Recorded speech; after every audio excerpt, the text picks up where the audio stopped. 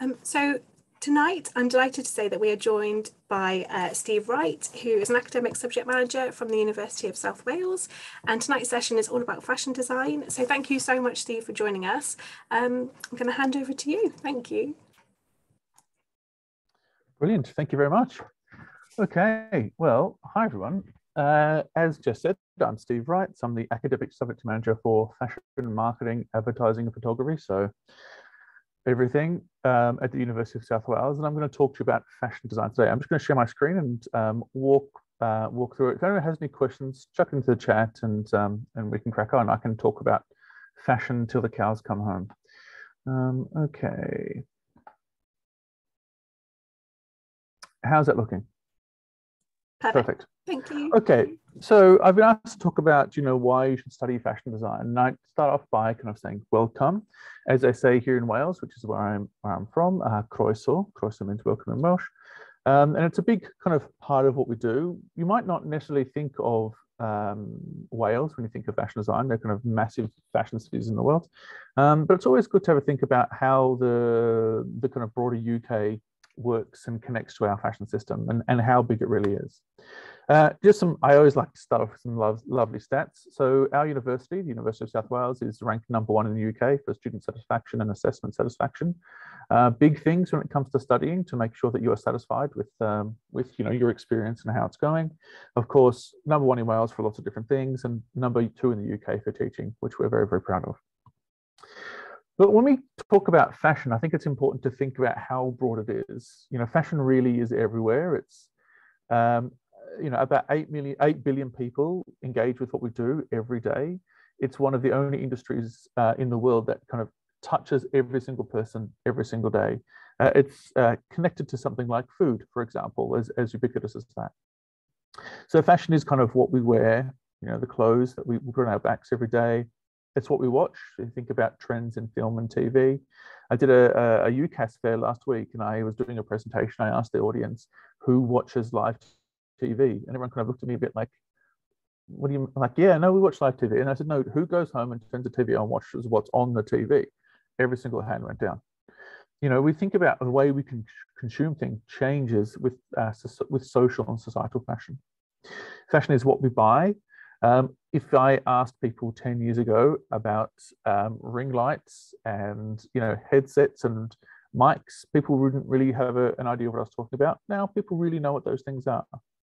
Uh, fashion is what we do, things like our activities and pastimes, um, kind of really popular things. And things like for, for, for kind of middle-aged people like me, maybe things like stand-up paddleboarding and stuff like that. People, going, people are trying to kind of go on more adventure holidays than they are trying to buy objects you know, fashion is uh, what we taste. So changes in food and and uh, you know, the last few years, sriracha was on everything. Uh, now and before that was bacon. Now now we've come changing to new things. So these things change with different fashions. What we hear, the types of music, and I'm sure you guys can understand the music has changed over the years, and and it and it changes with fashion. And fashion is really uh, well, what we smell, things like cologne and uh, perfumes, and all that kind of stuff, uh, the type of, of sense that we enjoy what we see in terms of like arts and media and and uh, culture that we consume. In short, you know, fashion is fashion is everything. And you know, of course, I'm going to say that because I come from a fashion background and I, and I love fashion. But if you really think about it, fashion is a kind of gateway to humanity, and it's the way that people express who they are and connect to each other. Uh, I'm sure amongst your friendship groups that you have uh, kind of trends and fashions, and maybe there's a person in the group who's a little bit ahead of everyone else, and someone who's a bit further back than everyone else, but most of us kind of sit in the middle there where we kind of see what happens and we, we like to kind of dress or look a bit similar to everyone else. So according to the British Fashion Council, the fashion industry is worth about 26 billion pounds uh, and 800,000 jobs to the UK. And you can see I've said here that it's the largest creative industry in the country. It is. Uh, the creative industries as a whole is growing at twice the size of the rest of the economy. Um, and one in 11 jobs across the United Kingdom is in the creative industries. Fashion is a massive part of that. Um, think not just um, kind of apparel, but um, when I spoke before about what we watch, think about costume. I know that was big in the poll there. You know, costume is a massive part of, of what we do, and the British film industry at the moment is growing exponentially. Here are some of the labels that um, that that uh, our universities worked with um, in the recent past. And you can see some kind of big ones there like uh, Givenchy, um, some French Connection, Hunter. We've got British brands like Raeburn, Gareth Pugh, America Transu, and then a bunch of like other weirdo ones that maybe you haven't seen, or really mainstream ones like Peacocks. Um, you know, the, it, it's a very, very broad industry, and uh, studying fashion or studying fashion design in particular gives you insight into all these different industries. I know when I when I graduated with my fashion degree, uh, it seems like it was about ten thousand years ago now, but it was two thousand and three. I imagine before most of you were born, um, which is depressing but real. Uh, and things like social media didn't exist. So the industry that I graduated into is drastically different to the industry today. There are so many industries that that that move very slowly. Fashion is absolutely not one of those. So studying fashion design gives you a really great diverse skill set to be able to kind of keep up and evolve with with changes. But when we talk about uh, fashion, we have to think that fashion is is really uh, design, right? Uh, and des design is about problem solving. Um, so I've clicked on my thing. There we go. And designers explore things that we might call the wicked problems associated with fashion. So they're like sustainability, ethics, and body image. And traditionally, fashion's had a, a, very poor reputation when it comes to dealing with, with problems. In fact, it's probably had a pretty well earned uh, reputation of, of causing some of them. But the industry is changing. And it takes designers with excellent problem solving skills uh, and, and gives them really good uh, transferable skills so it, it's asking you to take these skills and to use them in lots of different ways. I've got graduates who who uh, work across all different sectors. Uh, one of my one of my graduates graduated a couple of years ago. Now works as a puzzle designer, which is very strange, but she loves it. So first poll. Okay, Jess, you can help me out by setting this thing up. Um, what is the biggest issue that you think is facing the fashion industry? It's one of the things I, I ask uh, students often when they apply for for the course.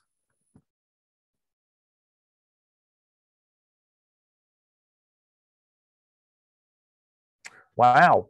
Okay. I, I see.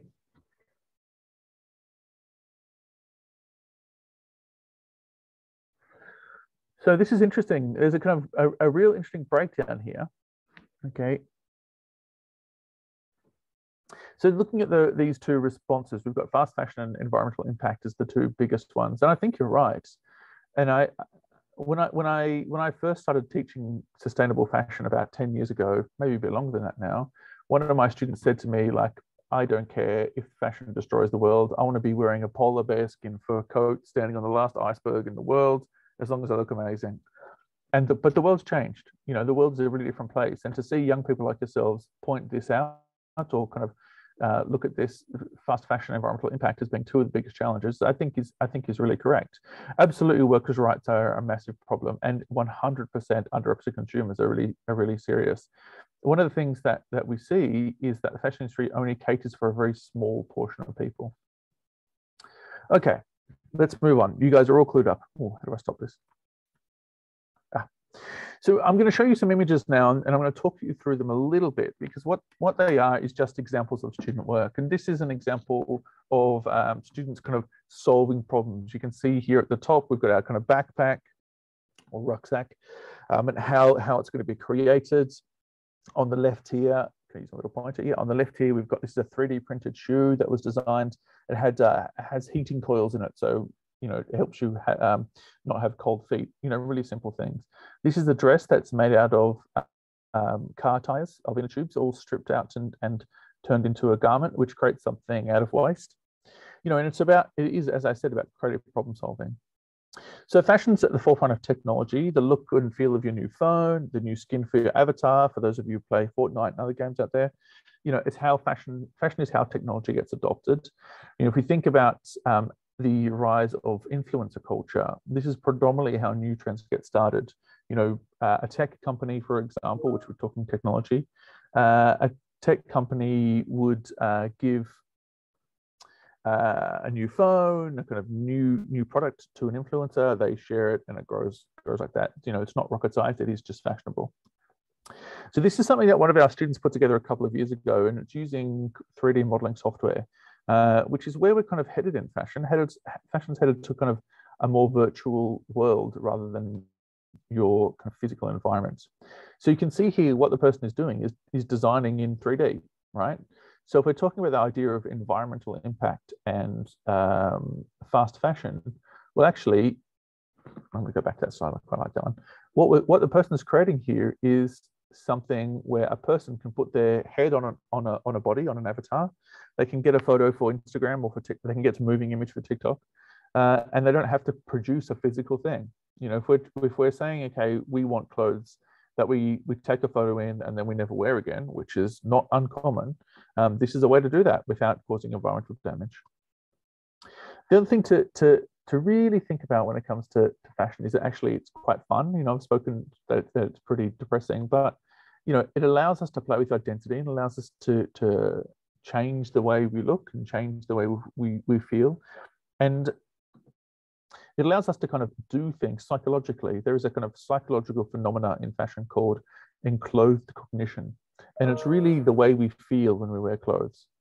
And the idea uh, with that is that maybe you're going to a job interview or maybe you're going to a party, and the clothes that you wear really impact your mood when you're at um, those places. I'm going to show you another video now. This is by one of our students who's in her final year this year. She did this last year, she was in her second year. And the students were tasked with using new technology to create something, a fashion object, um, that could be used against COVID. Now, of course, COVID's everywhere, you know, the whole thing. Um, people might be a bit sick of it, but this is an interesting kind of maybe creative approach to, to solving the issue.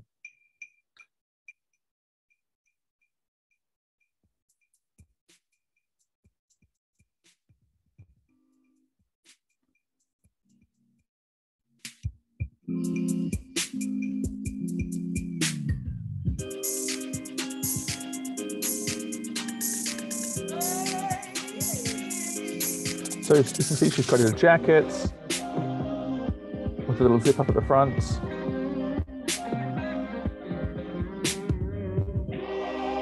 With a detachable mask.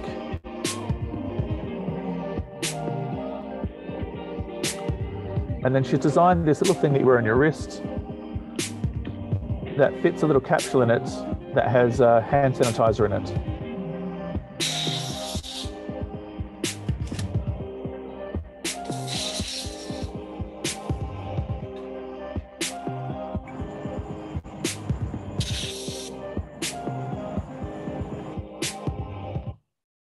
So that's a kind of way for for us to think about how fashion can be used for good. You know, that that's a, a really fun, fashiony, cool little techie product. This is another collab that one of our students did um, with Adidas or Adidas, depending on uh, on where you are and how you pronounce it. Looking at um, uh, working with Fabricant and Karlie Kloss on a, uh, a kind of new type of jacket that responds to air pollution.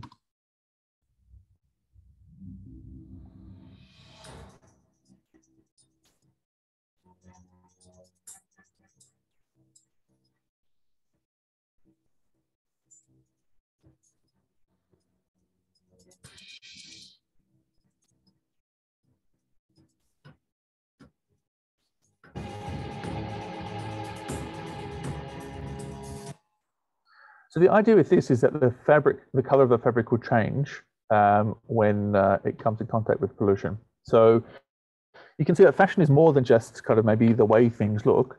It's it's it's a functional thing as well. So, so this is some more stuff from students, and this is just kind of gives you a bit of a snapshot on how students work. Um, this is uh, a sketchbook from one of our students, and you can see the bottom here. This is her playing with ideas. So she's kind of um, she's from the north of, of England, uh, and she's been inspired by this terrifying um, head. Um, and you can see her playing with things like patterns and prints and all that kind of stuff. Uh, same kind of thing. This is a, a, a, first year student just playing with shapes. Now, you, you, know, often people kind of say to me, oh, well, I could never study fashion because I can't draw, I can't sew. Like, this is not drawing, this is design thinking. Um, and we will teach you all the skills you need on how to make, make garments and how to draw things. Um, it's crazy to think that you have to come to a course with a bunch of skills already. You'll already have a bunch of different skills that we can use. And uh, in our course, we have a, an optional sandwich year. So between the second and third year of the program, students can um, go and work in the industry. uh, for a year. And I'd, I'd, suggest that that's probably a really good place to be and a really good thing to do. And if you are considering studying fashion design, look for a course that has that particular option. Um, this is a, a, a, student called George, who's from the Forest of Dean.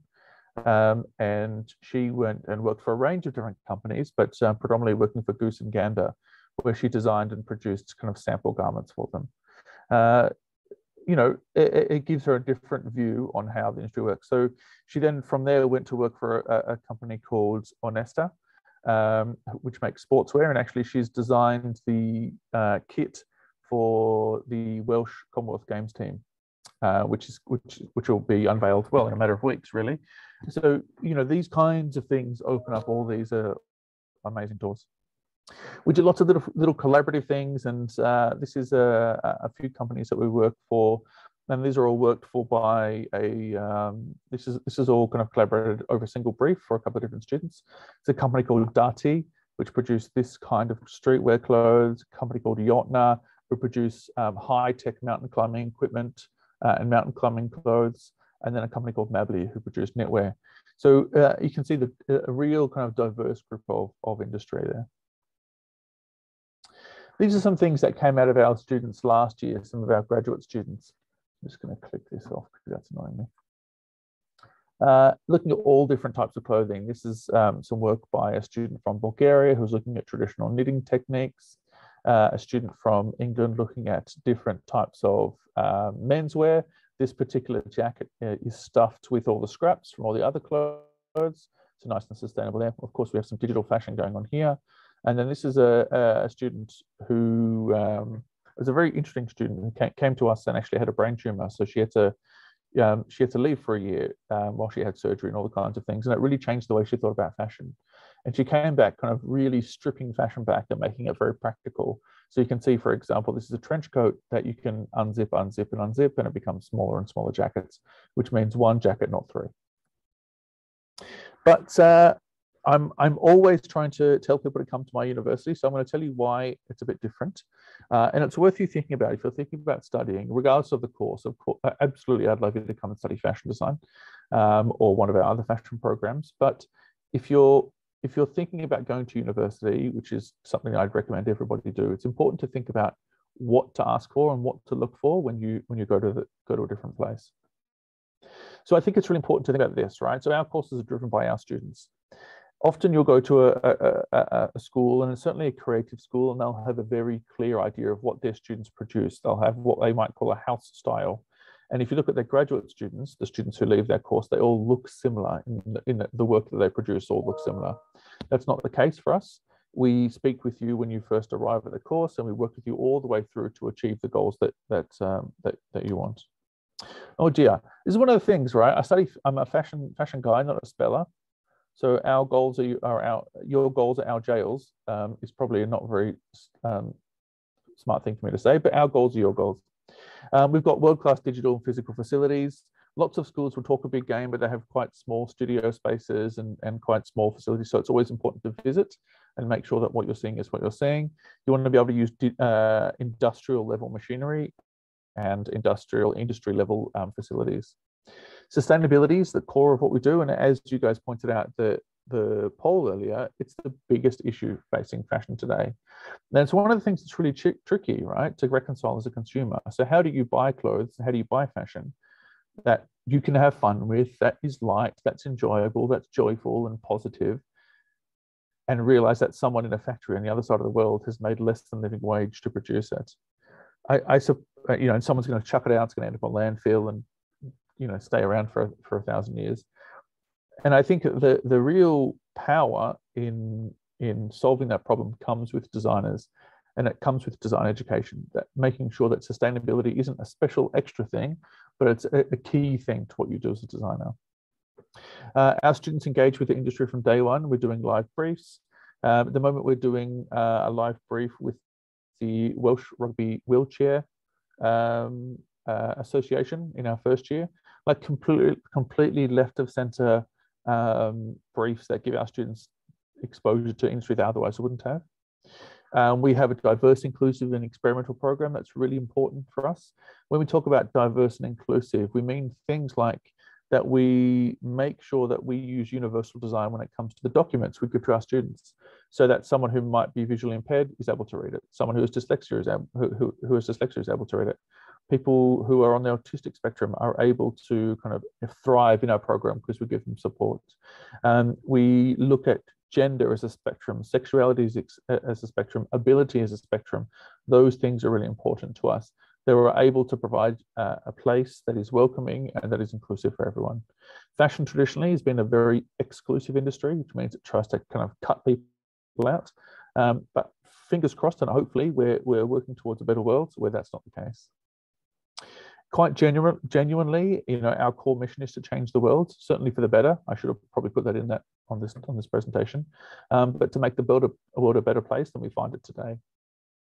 Um, so then, you know, we kind of talk about this, right? Typical students. And, you know, universities have their own vibes and their own, you know, aesthetics, but what, what does our student look like? Well, we don't really have a typical students. They come from all different backgrounds. Um, they have a variety of experiences. You know, that's something that we really, really value on our programs. Um, you know, for example, often you'll you'll go to a university and most of the students have studied at a local college and they've studied kind of together and they've done similar subjects or they've done similar A-level subjects and they go to the university. Really, they're all from similar backgrounds. And, and what you create then is, is a really um, uh, probably probably narrow group, right? With a narrow group of experiences. We look for when students apply for our programs that they have a wide variety. Someone might be a like into horse riding, someone might play sports, someone might have a job, someone might be a carer, someone might have children. You know, those things mean that that actually you make a group stronger because you can bring lots of different experiences. Uh, the one thing that we do like to look for is that you align with our thoughts on making the world a better place. That's important to us. We do want to make the world a better place, and we want to help you do that too. Uh, we also want to make sure you have a voice. So that's really important to us that our, that our students are able to voice their opinion. And we speak to our students very regularly. We meet with a representative um, group of our students every two weeks to, to work on making the course better for you and making the course more, more improved. But our students are really, really hardworking. You know, they're very active. They work a lot. And one thing studying fashion design will teach you is how to work really hard and really fast. Uh, and they're they're often um, given lots of praise for their hard their hard work ethic. But of course, they love fashion, as we all do when we talk about a fashion designer, these are the things that you have. You know, you'll study these kind of areas, but these are the things uh, that make you you. So you'll be studying things like design, which is about kind of problem solving and thinking. You'll study communication. That might be things like illustration, but it might also be copywriting. It might also be um, social media. It might be how to communicate visually. You'll ha have a lot of technical skills. So that might be physical skills, like how to make clothes and how to pattern cut digital skills, how to create films, for example, all the ones I've shown you today were made by students, um, how to design in a 3D space. You'll look at theoretical uh, things like, okay, how, uh, what is the role of, of, uh, of fashion in communicating um, generational identity? So if we look uh, on a snapshot of the street right now, everyone wearing skinny jeans is a millennial, everyone wearing wide leg jeans is Gen Y, right? You know, maybe not necessarily that that tight, but you see where I'm going. And in the center of that sits you, sits a person that comes out of university with a range of really, really key skills that can be used absolutely in the fashion industry, but of course, much, much wider as well. I'm going to do a little walkthrough now of our of our campus. Now, this is one that was shot by a student from me last year. She's she's lovely. She now um, now works in oh, was the student who had the mining the mining helmet. She works in the north of England uh, as a as a textiles teacher at a college, um, and it might make you a bit nauseous. So if it does, just look away for a bit. But it's really fast. So I mean, this bit's not so fast. So Prifysgol means uh, University of Wales, yeah, South Wales, in Welsh. So this is our long hallway past our library, in front of our campus here in Cardiff. So this area here is like dance studios and fabrication labs, so 3D printing, etc., etc., etc. Fashion is on the fourth floor, and you can see that we have um, like shop fronts, shop fronts in through this area here for our retail students.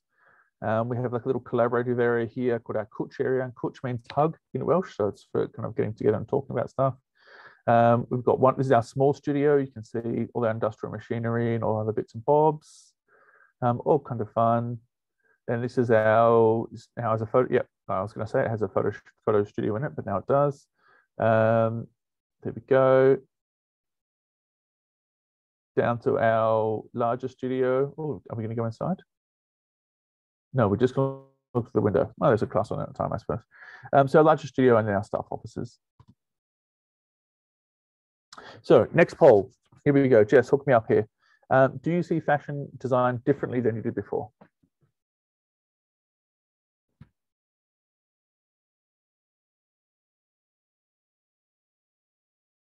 Okay, positive. I'm feeling positive. Okay, well, I hope the person who chose choice two was already uh, an expert at uh, at fashion. Okay, thank you very much. Oh. as I say in Wales. Thank you very much. Um, look, you can follow us on our Instagram here, but I'm much wondering, I'm just looking, Jess, let's have a look at our time. Yeah, I'm wondering if I've got kind of 15 minutes that I can um, walk you through some student work. So unless there's any questions while I transition over. All right, so what we have here is um, some student work, right? This is a this is a, a first year fashion design student uh, at this time of year. So it's actually it's a student from last year. Um, the students who are working on it this year haven't submitted yet, but it's a student from last year.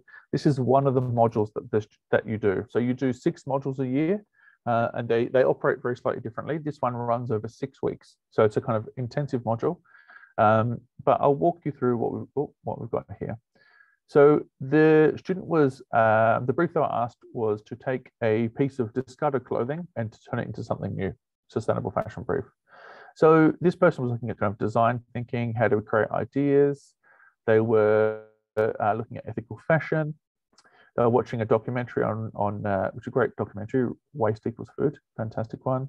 Looking at some precedents, so, so where other companies have done similar things. So looking at uh, Nike, uh, then looking at, okay, we've got some problems here. How do I, uh, how do I resolve them? So they've explored biological fashion, slow fashion, non-toxic toxic fashion, looking at different ways of approaching uh, fashion design. This is this one at the bottom here, cradle to grave. I'm to use a little hand because that's fun. Cradle to grave is where we are right now, usually. So we buy our stuff, we wear it, then we throw it away. That's it. And what he's suggesting is that we kind of move into this space here. Predominantly, he's looking at this one, so recycling as opposed to kind of recomposting. But there we go. I won't necessarily go through everything. There's, there's a stack here, but he's looking at other different labels and how they work. Uh, uh, looking at the brand he's working for. So this is one of the projects we did for Jottnar Looking at the clothes they're doing, looking at the product overview, product analysis. So one thing he found was that there wasn't enough women's wear. Um, so I'll jump to that bit actually. Looking at comp competitors. So he's done some research here, done some surveys. Okay, so this is his target market. So he's looking at this idea of a kind of competitive rock climber um, who's into sustainability, that kind of stuff, exploring other labels again. Okay, then I'll scooch all the way through. Lots and lots of research, looking at art movements, looking at concept ideas. And see, these are just some early ideas. These are called, these are called design sprints. And design sprints are something where you try and get as many ideas out in a short amount as possible. So they might last for two seconds each, which is why they look like this um, two or three seconds each. And it's just about kind of getting as many ideas out as possible. And from those ideas, you know, you get seeds of ideas that grow. So if we fast forward, we can see him going, okay, building a concept. Okay, good, good, good. Here's a, here's a few ideas for that concept. Got some feedback, looking at some more um, design sprints. Kind of building and building, building into things that look a bit more like clothes. Okay, a bit more like clothes. Looking again, more some research here. Okay, looking at uh, patterns. Building again. Now again, this is six weeks, so you can see it's really, really fast to produce this kind of stuff. Um, so he's thinking, okay, well, what what kind of stuff would they take with them? These this kind of equipment. All right, so putting all these ideas together, at colors, And here's where we get our kind of real design bit. So you can see we're about halfway through the process here. So the first half is primarily about kind of developing ideas and, and kind of um, research. And as we kind of grow, we start to kind of form into, into stronger, stronger ideas. And this is where we start to get the designs that have been evolved. So the idea for, for design isn't that you that you kind of start with a finished article that just pops into your head and you create it. It's about working through a process of, it's a bit like, like playing a sport or, or playing an instrument. You have to get better and better and better the more you do. So the first step to being great at something is to suck at it. Uh, and, and you can see at the very beginning, they're just like little scribbles. They're not real drawings. Um, but as you go through it, you get better and better and better, and your ideas become more solid. So it's exploring ideas, ideas, ideas, and it's chuck them onto a body here. Okay, great. So, you know, some interesting kind of clothes here and very different to what we would expect from those initial drawings. So he's chosen this design as an, as an option. And this is the garment that he's taken apart to turn into a new one. So you can see where it might go on the, on the garment. And he's kind of produced his little technical drawing here. And he's looking at, uh, this is an art movement, suprematism is an art movement. So saying, okay, well, look, this art movement uh, used lots of geometric shapes. I took all the pockets off to see what this might look like. And I've done a range of different of these suprematist drawings at the top here, and I've turned them into garments. Changed how they might be placed on the body. And then he's um, done some toiling, which is like a practice garment out of calico, like a, like a cotton, you know, to test the ideas. And uh, where are we at the end here? You can see the ideas are starting to kind of come, come to shape and turn into real things. And this is still the practice garment, but that's that's where we've ended up. So you can see uh, it, it is about kind of process. Let's see what this has got here. Now he's got his final garment. And then he's looking at different materials, compostable fabrics, you know, refining his design, all that, all that kind of stuff. I can go I can go all the way through if you if you were super excited. Oh yes, he turned some scrap fabric that he had from the from the garment into a backpack to hold the water for the for the hiker. I'm not 100% convinced by that, but you know, it's a good way of um, of, of using the waste material. So that's it from me. Thank you, uh, thank you very much. And let me jump back into the room. Does anyone have any questions? Thank you, Steve. Yeah, please, please, if you do have any questions, please pop them in the chat. Um, I was just going to ask a question, Steve. So I know you said like you didn't need to be like good at drawing to, to go onto the course. Would you expect students to have done art or textiles at A level or college as one of their subjects to get onto this course? No, no, no, no, not not not necessary.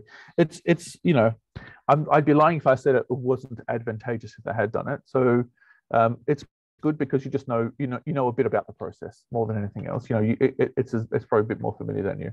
Um, but for for us, what we we take all our students um, on a kind of notion of first principles, and that means that nobody knows anything when they when they come to our course. That's the idea.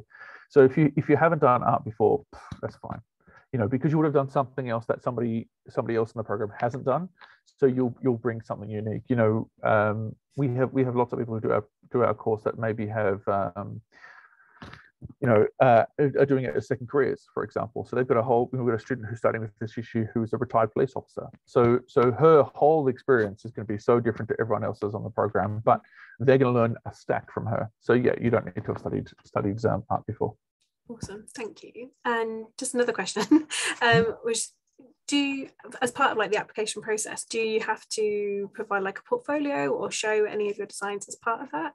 Yeah so the application process um, is twofold. So firstly you know you apply through ucas the standard way uh, and then you have a portfolio interview. And that sounds really terrifying and for some universities it's supposed to be.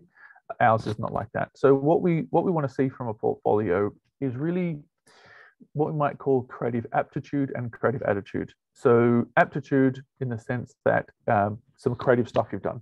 Now that could be, hey, look, I'm I'm awesome at cooking. I've I've made some cakes and they're really creative and interesting. Great, that's super creative. I've written a song, really creative. I've made clothes, even better. You know, like uh, oh, I customized a T-shirt because I went to a festival. Sweet, we'll take a look at that. Um, if you studied art before or something like that, a sketchbook is a really good thing um, because it shows us your thinking. And that's what we're looking for from the portfolio, how you think uh, as a creative person.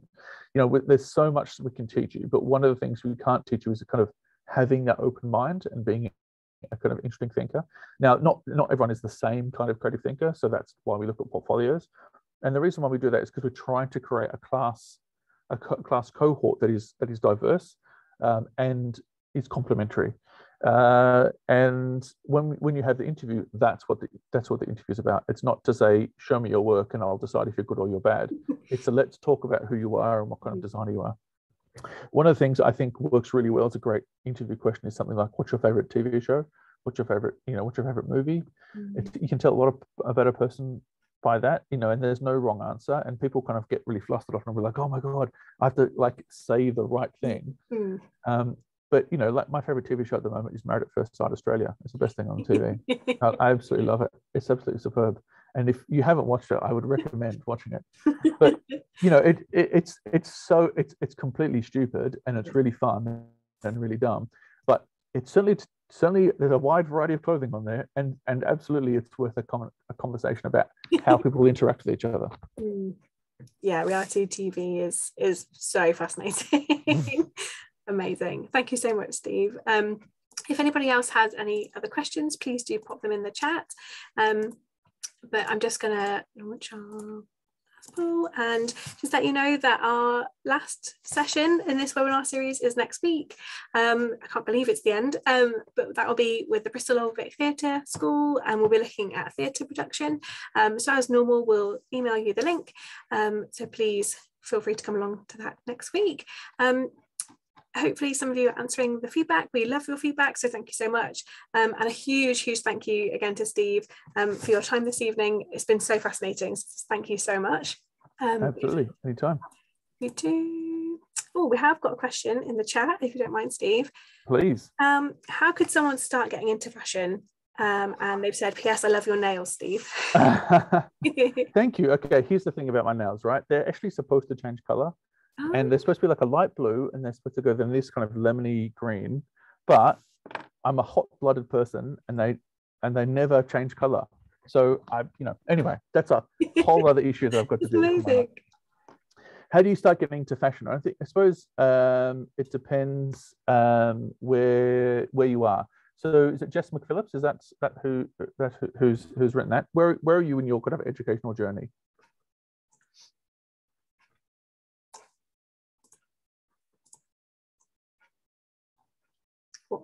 GCSEs. GCSEs. Ah, great. So what I would say is to is to if you if you're kind of currently doing them or you're about to choose which GCSEs to take, I think it's it's about choosing choosing something that you're interested in and that you're keen on. Um, when it comes to when it comes to kind of learning, there's no there's no wrong way to learn. And if you're if you're engaged in something that you're interested in, then you'll be fine. Like for example, if you love history, there's an absolute ton on fashion history. Great, wonderful. Um, if you're interested in maths, uh, brilliant. The fashion industry makes an absolute shedload of money, so it's there's a perfect career there for you. But if you if you if you just like creative things, then just do that. That's absolutely fine. Um, and I, I, I, would say that in terms of kind of getting into fashion, start kind of connecting to fashion beyond something like social media because it'll be it'll be curated for you and and the algorithm will decide what you see. So I, I would say there's a, a, great website called the Business of Fashion, BOF, um, which is which is worth looking at. I think um, listening to fashion podcasts is a really good good thing. There's one called Dressed, um, which is the history history of fashion, but the Business of Fashion has one, and and there's a great one by a comedian called um, uh, Who Are You Wearing? Um, Kiri Pritchard McLean is the name of the comedian. Great little great little podcast. Um, that's just worth like they're just things to listen to. They're entertaining. When I when I was a, a, kind of young young fashion student, and I I, I studied other stuff before I studied um, fashion at, at, university. I studied education and, and, nursing and all these kinds of things. Um, so, kind of for me, what I did in the first few months when I was when I was studying at university, I was always interested in fashion. I like to, to make my own clothes. That's another good thing to do. Um, is I tried to watch as many fashion shows as possible from other um, from from from other designers and from other other eras and other years. And certainly in, in terms of kind of British design, there is an absolute mountain of material out there looking at Vivienne Westwood, looking at um, Alexander McQueen. There's so many documentaries you can watch. But you know, to be honest, like for for for me, as as I've gotten older, I I, I still love fashion, but I think you need to feed your creativity. So so you need to bring other stuff to it too. Um, so I, I would say study what you're studying, enjoy what you're enjoying, and then um, pick up some fashion bits uh, as they excite you. Amazing. Thanks, Steve. That's a long-winded answer to that one, isn't it? No, but really, really helpful. Um, if anybody else has any other final questions, please do put them in the chat. I, I do I do love questions. They make a massive difference. It help, helps us kind of focus on what we're doing.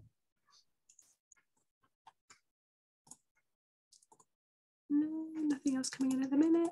If anybody does have anything, um, you can. You've obviously got our Creative Futures email, so if you do think of anything uh, when we send out the presentation and things, please do ask because we can put those to Steve. I'm sure he wouldn't mind. yeah, absolutely um, fine. And we'll share some links to those podcasts and uh, the website that you mentioned as well, because I think that would be really, really helpful. Um, but if there is no other questions, that just leaves me to say thank you so much for everyone for joining us. Um, and a huge thank you so much, Steve. It's been so, so helpful to have you here tonight. Um, and hopefully we'll see you again on another Study Higher program. I'd love to see you again. Thank you very much. I had a great time. Amazing. Thank, Thank you, Steve. Cheers. Brilliant. Thanks, guys. See you everyone. Bye.